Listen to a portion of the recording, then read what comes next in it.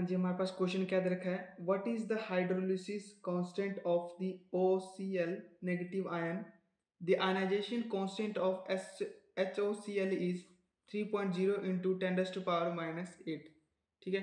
तो जो hydrolysis is hydrolysis क्या है? इज़ क्या है? हाइड्रोलिसिस इज़ क्या है? कांस्टेंट क्या है? कांस्टेंट है। और ये हमें क्या है? एक एसिडिक भी होता है और ये एसिडिक और किसमें होता है? बेसिक एसिडिक हमारा क्या होता है? H C O C L acidic क्या हमारा यहाँ से एच की इज़ इक्वल टू क्या हो जाएगा? के डब्ल्यू अपॉन के ए एसिडिक केस में। और बेसिक केस में के एस की वैल्यू क्या होता है? के डब्ल्यू अपॉन के बी ठीक है? और ये हमारा के एच क्या है? हमारा hydrolysis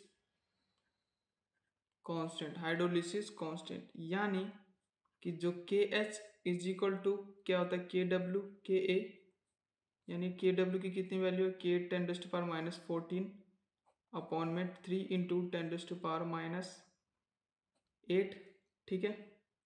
three into ten dust power minus eight तो जब इसको सॉल्व करेंगे तो ये आएगा ten dust power minus six upon three और इसको सॉल्व करते हैं तो आएगा zero point three three into ten to power minus six और इसको सिंप्लीफाई करेंगे तो आएगा three point three three into ten to power minus seven ठीक है, ये हमारा क्या आ गया?